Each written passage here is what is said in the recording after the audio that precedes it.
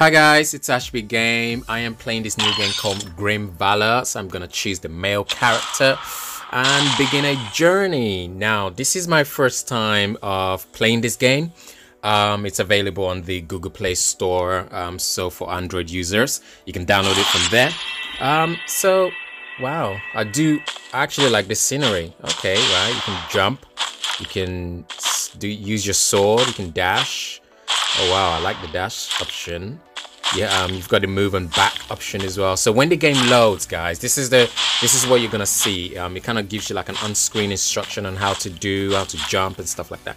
Um, and I've heard that uh, you can there's a lot more things you can do. Oh you got the hand option. We collect some uh, stuff over there. Um, that's really neat. That's actually quite easy to use. Um, I thought you would have like a different hand option somewhere else but it's good because there's only three controls here and then you have the obviously um, moving option to go back and forth which is pretty neat. Um, so at least you don't have too many things on screen and because uh, you know sometimes that can be a bit difficult if you're playing on the mobile phone for RPG games like this. Um, this is really really cool. Oh I'm gonna pick up more. What is that? What is what is it am I, I'm picking up? Is it emerald or? Oh tap attack.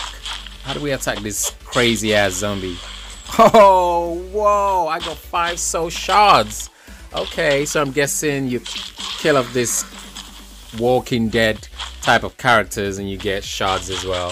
Um, I have a feeling this game has a lot more to show us um, as you go on because in you know if you download via the Google Play Store you can do the option where you don't have to um, pay money to upgrade a game or you can just buy the game or you can just do the monthly subscription with Google Play Store which I think is cheaper because then you can do a lot of other games where you just develop in the game and get stronger and get better to the end.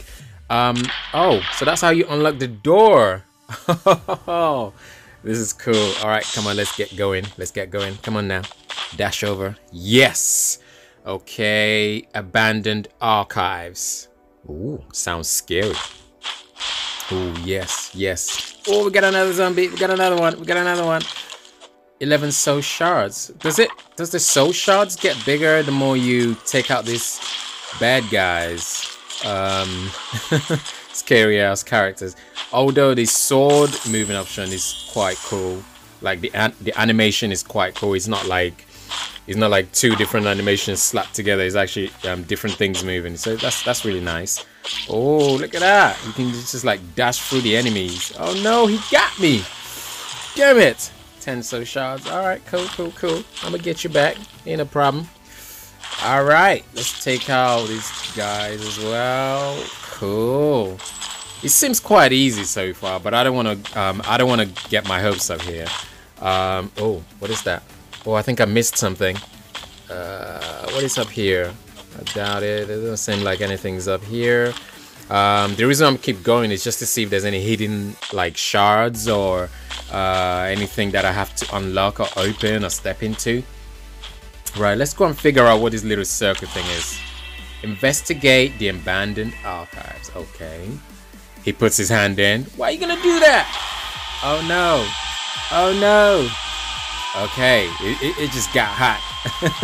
it just got really, really hot right now. Okay, go on, get, get. Oh, come on now. Take him out. Dash again. Oh crap, I just got hit. Just got hit.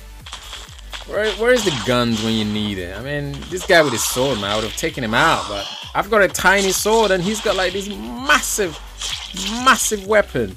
That is so unfair. Oh, close call. Dash again. You missed. Dash. Oh, crap. He got me. He, yes, yes. I need something better to take out this guy. Um, that weapon is just not doing it. He's really strong and his weapon is huge. All I need is one hit from and I am done. I mean, look at that. I barely have any lives left. Come on. He's, why are you moving back? Take him out. Nope, nope, nope. Dash the other way. The other way. Yes. Thank you. Nope, nope. that's through. That's it. Attack, attack. Oh no. He got me. Okay. So clearly he got me there because he swung his sword round like multiple times. And I thought he was actually to stop, but I failed. Oh, damn.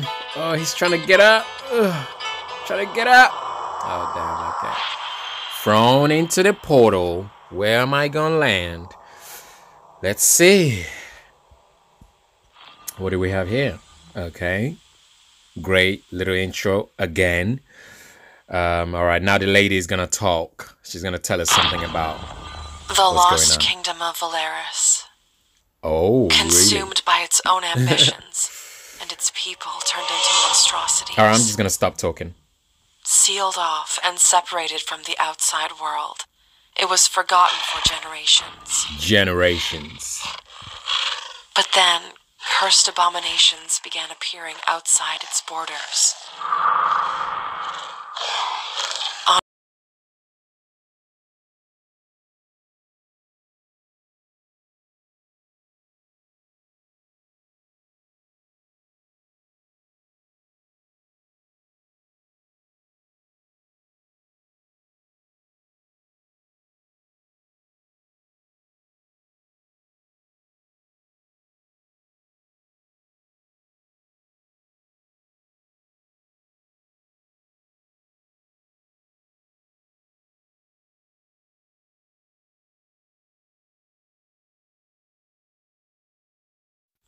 Okay, now so we're back, guys.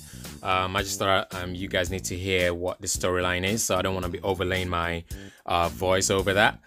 Um, right, so my character is gonna get up. So let me talk a little bit about this game. Um, so Grimvalor by uh, Direlight, Direlight, Direlight. I don't know how you pronounce the company name. Um, quite cool name. Uh, yeah, so this game comes under the PEGI 12 rating. Um, so your kids can't play this.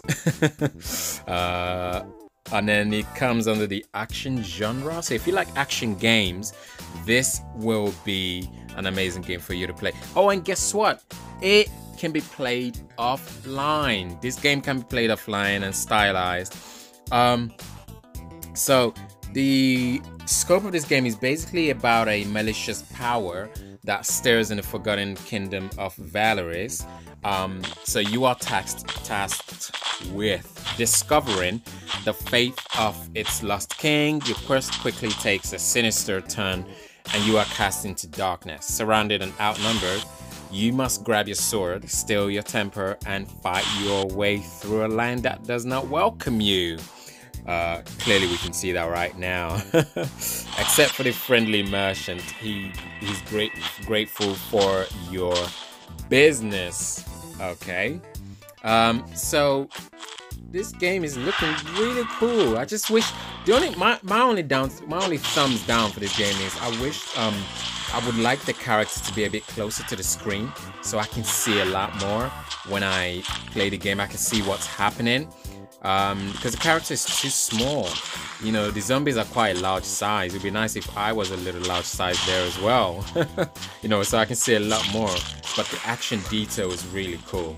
Um, and I love games like this. This, I think I'm gonna be playing this game for a while. It seems really interesting so far. Um, so I'm gonna be doing a part two. I'm probably a lot more um, to this game. I will be putting a lot more. So I am doing a daily video. I'm back to my daily video again. So oh, rest. Oh, progress to the next level. All right. So what do we do here? Okay, I got some. Right. So it seems like I need a lot more shards. So I need to kill a lot more enemies to get their shards and oh, oh, my health just went back. Okay, so that that basically replenishes you, basically. Oh, that's cool. Okay, I know what to do and where to get my health now. Um, so I'm guessing I should play along. You gotta look out for one of those um, places where it would heal you um, and stuff. Um, and I'm guessing you can increase your weapons um, damage as well. So that's it, guys. So I'll be putting the next gameplay. This this video is to be about 10 minutes long. Thank you so much for watching. Comment below this video what you guys think. If you've played this game before, let me know uh, what you think of this game. Um, there's a link in the description with some tips and guide of how to play this game and um, some articles as well about this particular game. Um, again, thanks so much. And I'll see you guys next time in my next gameplay video. Bye for now.